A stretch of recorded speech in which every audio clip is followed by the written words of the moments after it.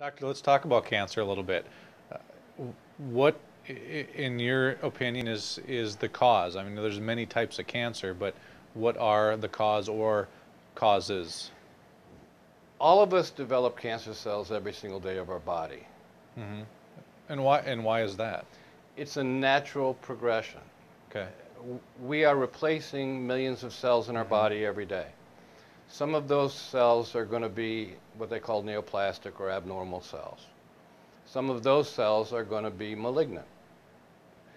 With a normally functioning immune system, the body is very capable of recognizing those cells, marking, tagging those cells, and then having other cells kill them and other cells engulf them and eliminate them. When that immune system is compromised, and there are several things that can co compromise the immune system, then those cells are not targeted. And the cell growth becomes exponential and uncontrollable. So it's difficult to actually classify cancer as a disease because it's a naturally occurring in your body mm. every single day. It's the uncontrolled growth of these cells that goes unmonitored that's the problem. So what are some of the things that that cause it? What if, if it's a, if it's an immune disorder then basically, right? What one then what in turn causes that? One of the primary problems in the United States, believe it or not, I'll name two. Sugar and estradiol, which is okay. one, one of 32 estrogens, but it's a primary estrogen. Let me go to sugar first.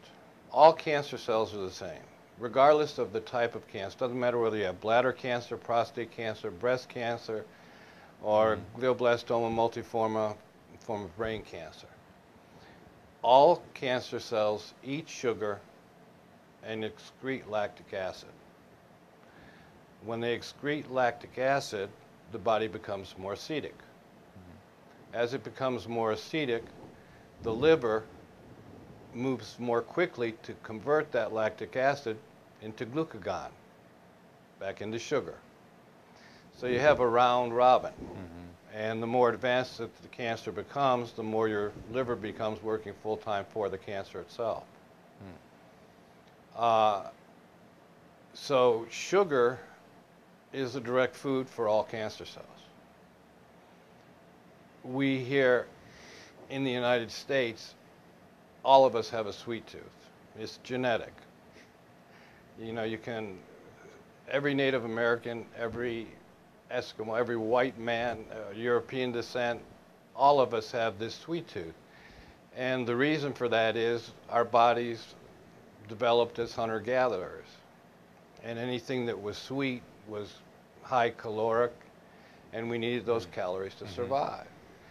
Well, the times have changed a little bit now we're the most obese society in the country, the United States, mm -hmm. and it's all because of that. What happens is we take in sugar.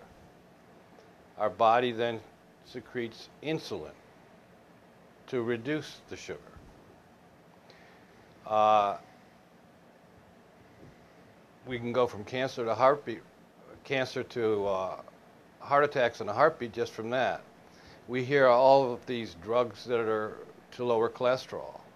Cholesterol does not cause arteriosclerosis. never has, never will. Cholesterol actually circulates in your lymphatic system, which is part of your immune system. Cholesterol is the first step in making all of your hormones for your endocrine system. Cholesterol to DHEA, from DHEA, testosterone, testosterone or androstenedione to testosterone to your estrogens. Uh, as this becomes unbalanced, we take in more sugar, we secrete more insulin. This insulin is what causes the problem. It causes lesions or cuts, tearing, mm -hmm. in the endothelium of the arterial wall. It's in these lesions that cholesterol will collect. Because it's a repair mechanism. It's a repair mechanism. So if we weren't taking in huge amounts of sugar, you'd never see hmm. these heart attacks. Uh, I have a very close friend that's uh, an internist. He's in his 80s now, but he served a long period of time dealing with elderly in their 80s in, uh, that were in a home, nursing homes. Not because they were ill, these were just more retirement homes. And he was their physician. He never found cholesterol levels under 250 in anyone over the age of 80. Hmm. It wasn't the cholesterol that was ever causing the problem. It was the sugar intake. And now all of our food has sugar in it. Mm-hmm. So we see rising levels of this heart disease and rising selling of statin drugs mm-hmm. When it's much simpler just to cut sugar out of your diet. I say that, it's not really that simple. But if you could cut sugar out, it would reduce cancer rates and cardiovascular incidence probably by 90%.